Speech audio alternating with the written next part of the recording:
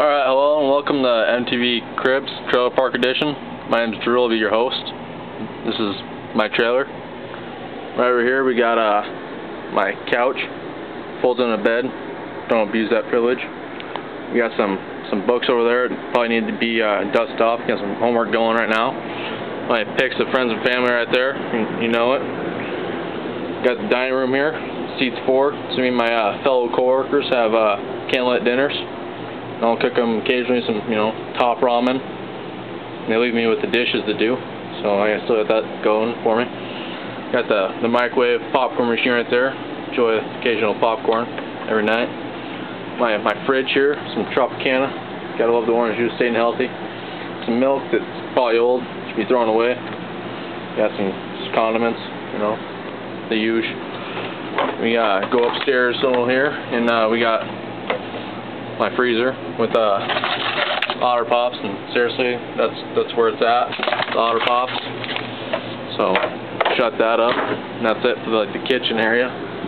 Got that going. Got the the TV, the stereo with speakers throughout the house. Pretty cool. My lazy boy chair I probably never use, but I'm a pirate, so I got the pirate flag flying high. You have to step up these little steps here. We got uh, where I brush my teeth do my hair. Looks good right now, doesn't it?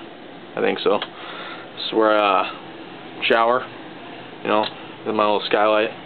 Sing, sing myself. My my bathroom, like my toilet area, you know. And the more stereo stuff there, I don't know why. Got some uh, some laundry here. It's ready to the laundry. It's going. The red light says it's going, so that's good. That's good news. We got my uh, my bed nice and neat and clean. Made it for this uh, video. I through those mirrors so you see me in my closets. My shoes up there. The TV, watching some Dexter. And uh, that's where I keep some of my bookworks and paper and movies and that's my my clothes.